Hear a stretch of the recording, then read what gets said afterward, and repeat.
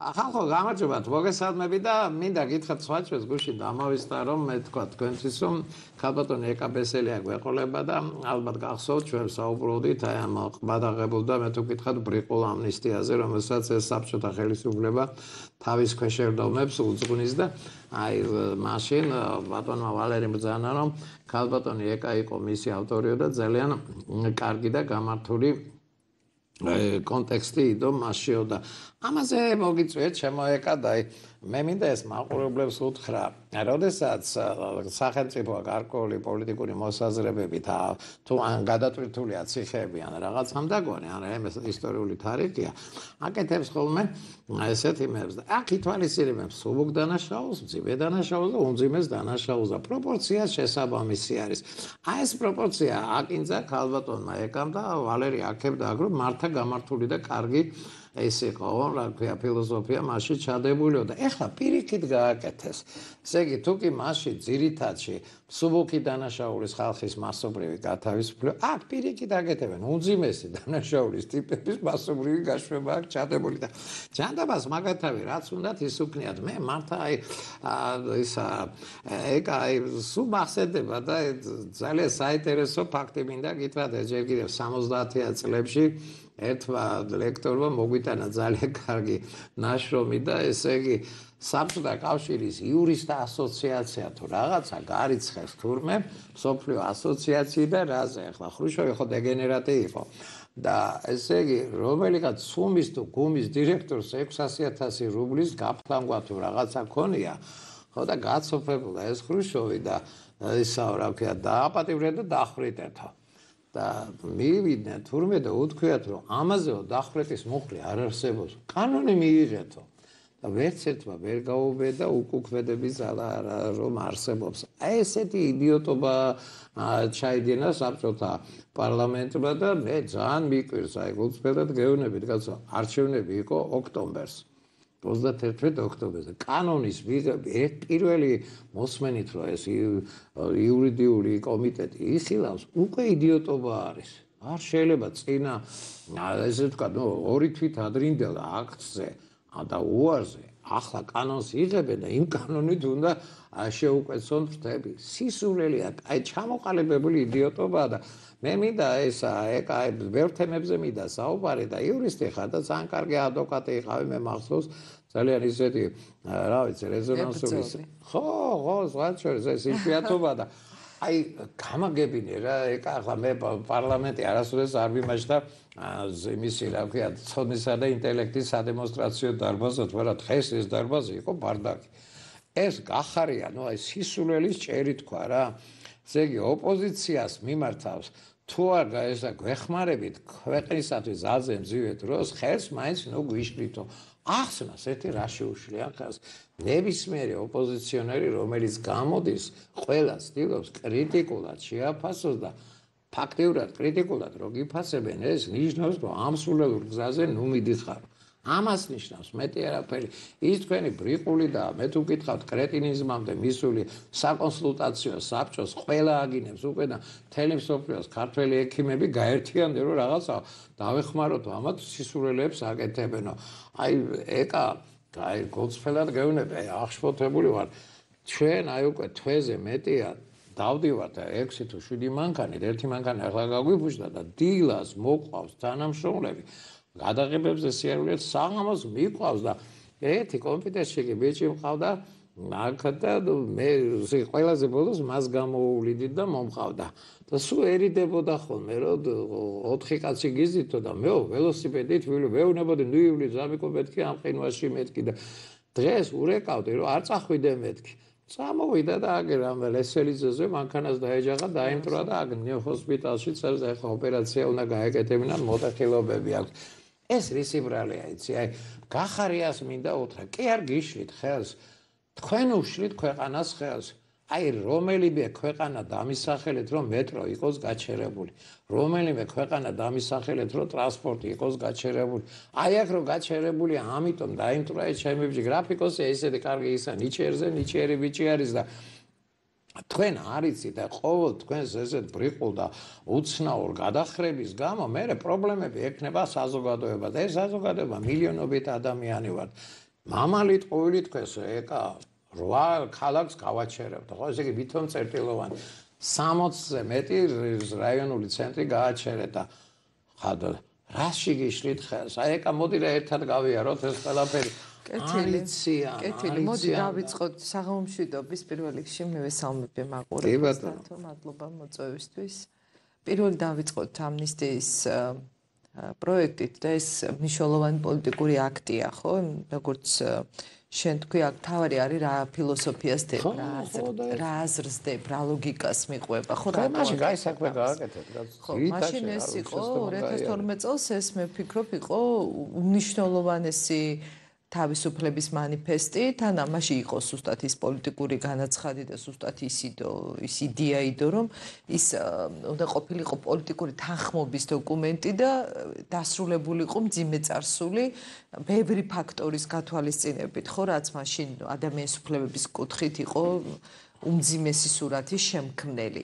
ამიტომ იყო ის მასშტაბური, ძალიან დიდი, სამართლიანი და ძალიან მნიშვნელოვანი როლი შეასრულა. ეხლა, როდესაც ამ ამნისტიის პროექტს ვკითხულობ, ამ გაყალბებული არჩევნების შემდეგ პირველი დაანოსდა და ეს ერთგვარად რაღაც აი დროშას რო აფრიალებ და გინდა რომ შეიქმნა აი ამ დენი ნეგატივის შემდეგ, ფასიფიკაციის შემდეგ რაღაცა კარგი იმიჯი და ჩამოირეცხო ეს ალახი ალბათ ამისთვის იყო ეს იდეა მოფიქრებული, მაგრამ აბსოლუტურად ლოგიკას ვერ იპოვი და თუ ამ ამნისტიის პროექტი. ვერ იპოვი, აი ითქვა რომ 54 მუხლია, რომელიც ამნისტიის კანონში პროექტში წერია, რომ წაიკითხო ეს მუხლები, იპოვით ისეთ მუხლებს, რომელიც პრაქტიკულად მკვდარია. იურისტები უწოდებთ ხოლმე, რომ მკვდარი მუხლი რას ნიშნავს, რომ შეიძლება პატიმარიც არ ყავდეს ამ მუხლით. აი გამოიყენება, აი მაგალითად როგორიც არის საბუღალტრო ჩანაწერების წესის დარღვევა, სახერხის საამქროს არასწორი ექსპლუატაცია. ხა ამითი პატიმარი ბინზის ხო და ამ დროს თავარი პრობლემა ის გამოც აბსოლუტურად სწორად თქვი და თუ რაღაცა კონტექსტი უნდა იყოს რის გამოც აცხადებ ხო ამნისტიას? მაშინ უნდა თქვა რომ ქვეყანაში არ აგაქვს თავისუფალი სასამართლო არ აგაქვს დამოუკიდებელი სასამართლო. და ამას უნდა ანაცვლებდეს ასეთი აქტი როგორც ქირურგიული ჩარევის ნაბიჯი მაგრამ როცა არც ერთი ის საქმე არ ხვდება იმ მუხლების ქვეშ რომელიც იწევს დღეს პოლიტიკურ კონფლიქტს და საერთაშორისო ორგანიზაციები ამბობენ რომ ეს არის პოლიტიკურად მოტივირებული საქმეები არ გამოდის ეს პოლიტიკური თანხმობის დოკუმენტი. ჩავარდნილი ნარკოპოლიტიკა, ეს რეფორმა, რომელიც ასევე პრობლემაა, იმიტომ რომ იქ საკონსტიტუციო სასამართლო აუქმებს მუხლებს, პარლამენტს ეუნება მიიღი ახალი კანონი, ოხანაშვილს არ ახსოვს ეს საერთოდ რომ საკონსტიტუციო სასამართლო რო გავალებს წესით უნდა მიიღო, იმიტომ რომ გამოდის რომ კოლიზია ლუფტია და ამ დროს პატიმრები ელოდებიან, იმიტომ რომ ის იმ გაუქმებული მუხლი დღესაც იხდის სასჯელს და ამ კანონ პროექტში ისიც რაღაცა დამახინჯებული ფორმით არის. მოკლედ მე ამ ამნისტიის პროექტს ვაკრიტიკებ, თუმცა აქვე ძალიან გულღიად ვამბობ, რომ რა თქმა უნდა, მაქვს ჩემი კეთილგანწყობა. თუნდაც რამდენიმე ადამიანს ვისაც ის შეეხება, მე არ შეიძლება ამის წინააღმდეგი ვიყო, მაგრამ ყველაფერს უნდა რაღაცა ლოგიკაზე აწყობა, რაღაცა იდეა უნდა ჩაიდოს და ეხლა მინდა გადავიდე ძალიან მნიშვნელოვანი მნიშვნელოვან საკითხს შეეხება თუ ეს არის აი შეზღუდვების თაობაზე მიღებული რეგულაციები. ანტიკონსტიტუციურია. აბსოლუტურად. ყველაზე სახიფათო რაც არის, ეს არის ანტიკონსტიტუციური ცვლილებები. და აი დღეს აჩვენებდნენ ამ შეზღუდვების მოხსნის შემდეგ, რამდენად დიდი იყო ნაკადი, ხო? ჩვენ ეუნები ორი დღით ადრე ყველა ელოდებოდა 24-ს, რომ გაიხსნებოდა. ორი დღით ადრე პრაქტიკულად 48 საათიც არ ქონდა ამ ობიექტები, მათ შორის სავაჭრო ობიექტები, რომ ეუნები რომ თქვენ არ გაგხსნით, მაგრამ გავხსნით მხოლოდ ტანსაცმლის და ესეთი ამ ტიპის სავაჭრო დაწესებულებებს. ეს რესტორნების ქსელი, კაფეები ხო ეს ბიზნესი მოკვდა ალბათ. ისეთი დიდი დარტყმა აქვს. რატო აკეთებენ ამას? აი, აბადია რა ეს. უგუნურა დაგეგმილია. აი, არ მესმის, იცი, ამათი კრეტირიზმისა, ახლა მე ძალიან კარგად ვიცნობ, სად რა მუშაობს და როგორ მუშაობს. ლილოს ბაზრობა ეკეთ, ელიავას ბაზრობა, ეს პასაჟი ჩამოტანილი აქვს, იცი, ზოგს კრედიტით, ზოგს ნასესხებით, ის უნდა გაიგო. თითქოს ყოველს ბანკის კრედიტი აქვს. უდევთ, კაცო, როგორ შეიძლება? და მეორე პრობლემა დათო, ეხა გუში მეუნებოდა კიდევ ერთი მცირე მეწარმე ადამიანი იყო და ეხა ის ყვებოდა, რომ რომ დახურეს ეს ქსელები, ბიზნესის კაფეები და ამ შემდეგ. ყოველს ბანკის ვალია. მაშინ უნდა გააკეთო ისე, რომ ფორს მაჟორი აბა სხვა რა არის. პანდემია არის ფორს მაჟორი. პირდაპირ წერია. ყველა კონტრაქტში და რა ყველას მინდა უთხრა და ურჩიო რომ ყველა ხელშეკრულებაში წერია რომ ფორს მაჟორული გარემოებების დროს თავისუფლები ვალდებულებებისგან და ამაში შედის პანდემიაც და რაღა რაღა ფორს მაჟორია რაღა პანდემია თან შეზღუდვებს აწესებ აჭერებ და თან ის ვალდებულებები, საბანკო ვალდებულებები ისე მუშაობს და გემატება, გემატება. ხო, ну ისევ დაზარალდა მეტროთი დადის და ტრანსპორტ საზოგადოებრივ ტრანსპორტ ყველაზე გაჭირვებული ფენა. ის ყველაზე მეტად დაზარალდა და სავსია მახა თქვენამდე რომ მომდიოდი ისევ იმ ხელა საცობები იყო. ეს საცობები იყო. აი სადგურიდან აქამდე 1 საათი მომდისი არ წავედი და თბილისიდან ჩამოვიარე. იდიოტობა ხო აი რა განიტვირთა ეხლა ამით თუ არაფერი? ხათაშოს მამადე რას ყველა ხმა ჩვენა რა დისტანცია არის? დისტანცია გოჭები ვითირდნენ მიწყობილები ერთმანეთზე საერთოდ სისულელე გააკეთეს ამათმა ეს რისიბრალი ერთვერო დაკეტილი იყო ყველაფერი მიაწვდა ხო არ გაეჩერებინათ. ეხლა შენ ამას ჯობია რეგულაციები იყოს კონტროლი იყოს კარგი მონიტორინგის და თვით კონტროლის მექანიზმი ჩართული აქვს მოსახლეობას და ну არ ვიცი დათო უმძიმესი სურათია ჯერ აი ამ არასწორი შეზღუდვების გამო ეს თავისთავად ანტიკონსტიტუციურია სხვა შორის საკუთრებასასამართლო არიხი თავისფალი გადაადგილების უფლება შეგვიზღუდე შეზღუდულია ეს ანტიკონსტიტუციური მაბატი რა ემოცია მალაპარაკებს ბერლინში მილიონი ნახევარი კაცი გამოვიდა გამოხატვის თავისუფლებას გვიგზავნოთ, გადაადგილების თავისუფლებას გვიგზავნოთ. ამ დროს ყველაზე ეფექტურად ებრძვის გერმანიის მთავრობა ამ კოვირს. და რა არის იცი და რაღაცა ბოდიში მაინც მოიხადო რაღაცა გააკეთო და სავაჭრო ცენტრები და ეს რესტორნები ყველაზე ნაკლებად ის არის საფრთხის შემცველი არ არის რა ეს მართა არა უფრო არის საფრთხის შემცველი სახლებში რო იკრიბებიან და ეს მაგიდა აი ციან აი და ეხლა აი ამ ახალ წლის დღეებში სხვა შევს კითხულობდი რომ პროვოცირებას უკეთებენ რომ როცა იკეტება ყველა ესე დაწესებულება კაფე ავის რესტორანი მე იკრიბებიან გირაობენ კერძო სახლებს იქ იკრიბებები იკრიბებიან ხო ახალგაზრდები. შაშავე გაზაფხულზე. თვითონ ეს ის ქართული ოცნების ლობები და ისენი როქირაობენ სახლებს და კეიფობდნენ იქა და მიქონდათ იქ საჭირო. არ არის ეს მექანიკური შეზღუდვა პროპორციული ევროპის ყველა ქვეყანამ დაიწყო რეგულაციების გამოყენება ძალიან ზომიერად იმიტომ რომ ეს ისედაც ყიფე ეკონომიკა ისე უჭირს ჩვენ ქვეყანას, რას გაუძლებს ეს ამდენ დარტყმებს და თან როგორი უცნაური ამბავია, რომ პარლამენტი, რომელიც საპარლამენტო ქვეყანაში წესით ყველაზე მნიშვნელოვანი უצება, ხო, რასაც უნდა იხილებოდეს ღონისძიებები, რომ აი ჩაკეტვა რო იწება და აკრძალვები, რამდენად არის ეს პროპორციული. ერთი სხდომა არ გამართულა დათო საკომიტეტო.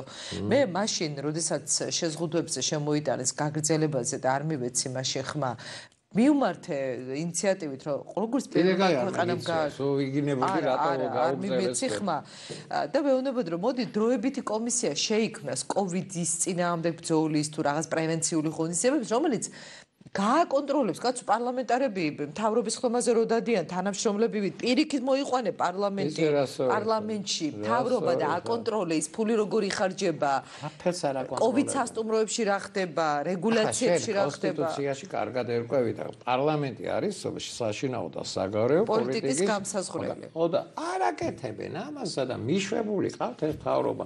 იგივე სხვა კონსტიტუციაში რა ეშმაკურადაა ჩადებული რომ როცა აირჩევ მთავრობას მე ვეღარ გააკონტროლებ. სამარე თვითონ გამოითხარა ამ პარლამენტმა და აი ეს შესაძლებელია ან ეს მითიური საკოორდინაციო საბჭო, აი მაბატე რაღაც ძალიან ხა გუშინ ინოსთან ყაიყნენ ეს მათა ასები იყვნენ.